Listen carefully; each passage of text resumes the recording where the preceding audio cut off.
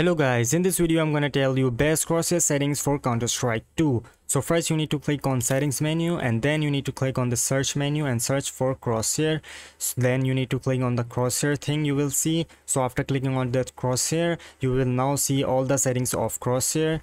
You can adjust them here. So first setting is crosshair style. You need to select it to classic static friendly fire warning is personal preference so i personally turn this to always off so you can turn this setting to your personal preference. So now there is follow recoil setting. This is new one and it's very very bad.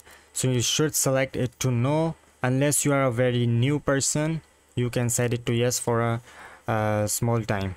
Then you will get used to the recoil. Then you can set it to no. But i personally recommend you to set it to no. Center dot would be set to no. Length would be set to 1.6 and thickness would be set to 0.7 gap would be set to minus 2.5 outline would be unticked red would be set to 0 green would be set to 255 blue would be set to 0 and alpha would be set to 255 so for better visibility throughout all the parts of the map i have selected green color because i think that is uh, the best color for visibility in all maps and what is uh, T-style would be set to no, deployed weapon gap would be set to no. Show player crosshairs are personal preference, you can set it to any setting you want. Uh, now I'm gonna show you crosshair, this crosshair in game also. Uh, the best thing about this crosshair is, is that you can one tap easily with this crosshair also and spray also. So it's like a balanced crosshair, you can do both things with it. Spray plus headshot.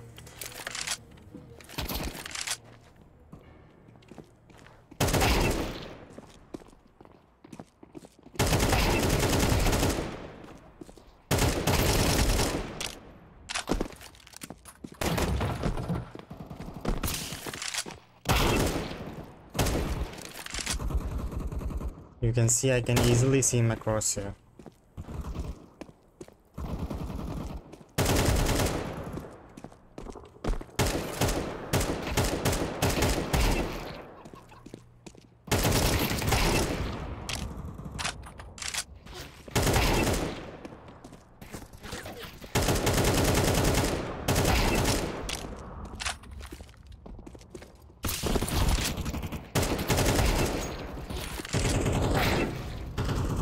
So guys these were all the best crosshair settings for counter-strike 2 so i hope that you have enjoyed this video. So don't forget to give a like and subscribe my channel for more upcoming counter-strike 2 content. So thanks for watching